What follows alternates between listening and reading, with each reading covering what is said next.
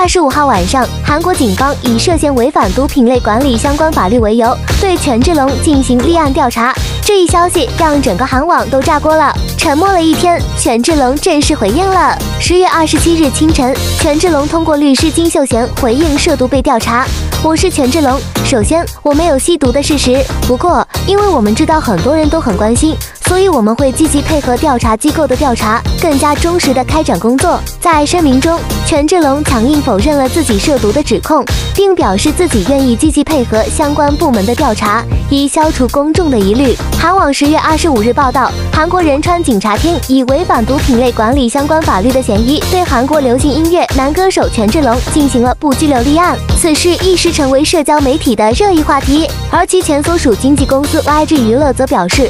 由于权志龙已不再是旗下艺人，因此不方便对此事做出回应。权志龙本人并没有回应，而在二十六号凌晨大量点赞了一位网友的 INS，当中包括一张七年前他转过发的图片，上面写着。我无法再应付任何人了。虽然权志龙通过律师发表声明否认涉毒指控，并愿意积极配合调查机关的调查，但这并不意味着事件就此结束。这一事件仍在持续发酵中，引发了韩国社会各界的高度关注，让人们开始重新审视韩国娱乐圈的发展和道德问题。韩国娱乐圈的道德标准和价值观需要得到进一步的提升和改善。